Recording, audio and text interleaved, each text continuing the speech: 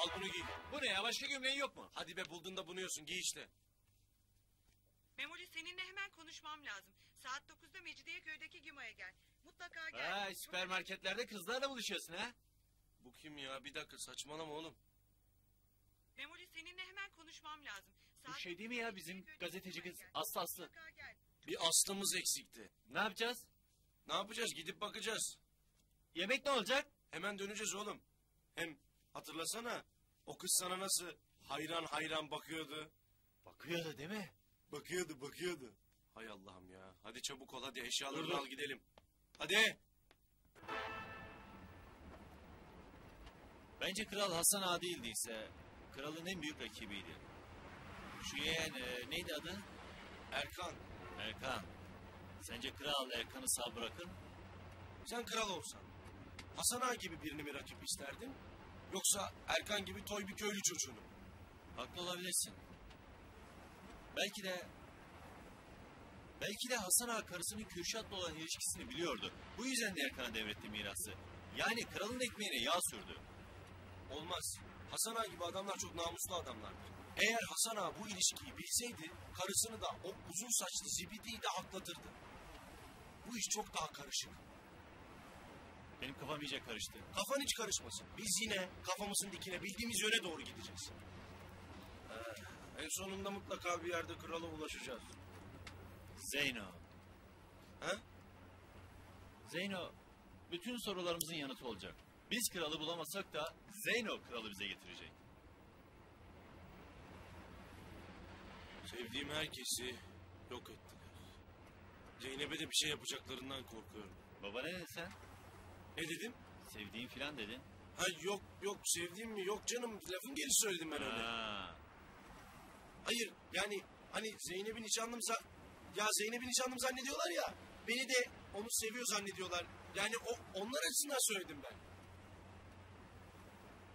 niye aldık bu sepeti ya? Alışveriş yapmayacağız ki. Oğlum böyle serseri gibi dolaşamayız oğlum dikkat çekeriz. Keşke şefe haber verseydik. Meraktan kafayı yiyorlardır şimdi. Doğru söylüyorsun çok merak etmişlerdir. Polise bile haber vermişlerdir. Doğru valla. E biz polisiz zaten. Nerede oğlum bu kız? O bu tuzak filan olmasın. Keşke öyle olsa bahaneyle tuzak kuranları yakalarız. Oğlum böyle çok dikkat çekiyoruz biz biraz alışveriş yapalım. Ne alalım? Ne bileyim atalım işte sepete bir şeyler. Belki de bizi izliyorlardır. Kız onun için çıkmıyordur meydana. İyi de ne alacağız ki? Aa bu ne güzel kokuyor ya. Baksana seni gömlekleri bundan sonra bununla yıkayalım. Hem mis gibi kokar hem de kan lekeleri çıkar. Ben bundan alıyorum bu gayet iyi. Bakayım.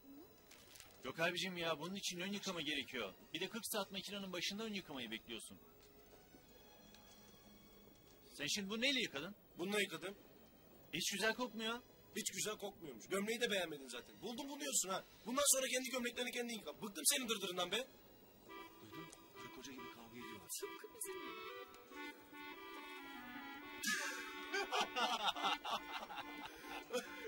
İyi hadi. Bana bak doldurduk sepeti ama ödemek zorunda kalırsak görürsün. Yatırırız maaşı valla.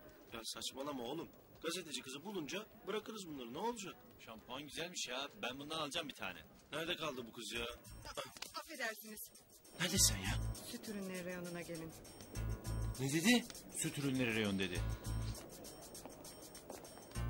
Hay Allah'ım akşam akşam kovalamaca oynuyor süpermarkette. Nerede bu süt ürünleri? Gel şuraya bakalım.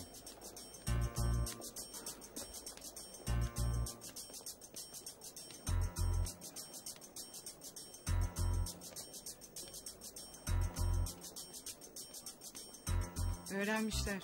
Neyi öğrenmişler? Kürşat'la Gülsüm'ün resimlerini çektiğimi. Evime girip evin altını üstüne getirmişler. Büyük ihtimalle sizi zaten takip edenler parkta benimle konuştunuz diye benim de peşime düştüler. Biz seni uyardık kızım bizden uzak dur diye. Kendin kaşındın. Yahu mühim olan o değil şimdi. Artık bizim her şeyi bildiğimizi biliyorlar. Resimleri aldılarsa elde var sıfır demektir. Ben de bunun için sizinle konuşmak istedim. Aldıkları sadece resimlerden birer baskıydı. Bunlar negatifler ben gidince aldım. Sen ne olacaksın? Hedef şaşırtıyorum anlamıyor musunuz? Seni sağ bırakmazlar. İstiyorsan sana koruma sağlayabiliriz. Hiç merak etmeyin. Negatiflerin bende olduğunu düşündükleri sürece bana bir şey yapamazlar. Ben gazeteciyim benden korkarlar. Ama ben de pek fazla hareket edemem. Negatifler sizin elinize daha çok işe yarayacak. Nasıl işe yarayacaktır? Şantaj mı yapacağız? Joker olarak kullanacaksınız. Joker mi? Zamanı gelince söylerim ne demek istediğimi anlarsınız. Şimdi gitmem lazım. Hemen çıkmayın oyalanın biraz.